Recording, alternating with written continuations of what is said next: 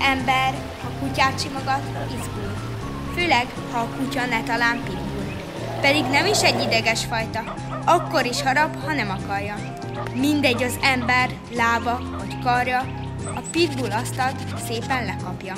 Vagyis ha éppen sétálni indul az ember, jobb, ha nem jön a pitbull, de ha jön, akkor ne simogassa, mert a kutya őt kettéha